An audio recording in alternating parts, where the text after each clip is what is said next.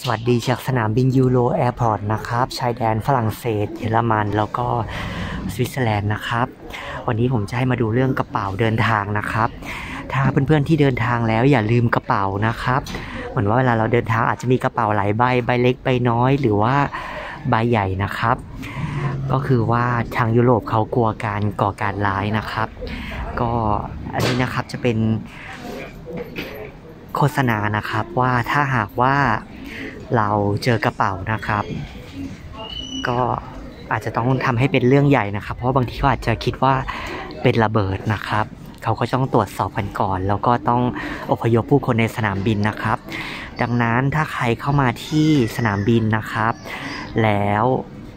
เออลืมกระเป๋าทิ้งเอาไว้ ก็จะโดนปรับนะครับ 450 ยูโรนะครับ มีประกาศไว้ในในอันนี้ภาษาอังกฤษนะครับ แล้วก็ภาษาเยอรมัน แล้วก็ภาษาฝรั่งเศสนะครับ บอกเอาไว้ทั้งหมดนะครับ ต้องระวังให้ดีอย่าลืมเลยนะครับ กระเป๋าอยู่ติดกับสัมภาระส่วนตัวใบเล็กใบน้อยอยู่ติดกับตัวตลอดแม้แต่เวลาเข้าห้องน้ำนะครับ สนามบิน EuroAirport นะครับบาเซลนะครับสวิตเซอร์แลนด์นะครับ เมืองมูลูสนะครับ ประเทศฝรั่งเศส แล้วก็เมืองไฟรบูร์กประเทศเยอรมันนะครับ ก็อันนี้เดี๋ยวผมจะให้ดูบรรยากาศทั่วไปในสนามบินนะครับ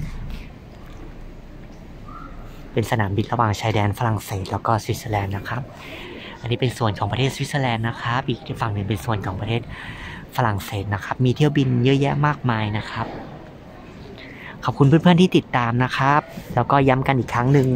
อย่าลืมกระเป๋าเดินทางทิ้งเอาไว้นะครับ นี่ก็เป็นป้ายบอกเอาไว้นะครับ อย่าลืมไว้ถ้าปรับถึง 450 แล้วก็จะสร้างความยุ่งยากให้กับเจ้าหน้าที่สนามบินนะครับ แล้วก็ผู้โดยสารท่านอื่น ๆด้วย ขอบคุณครับ สวัสดีครับ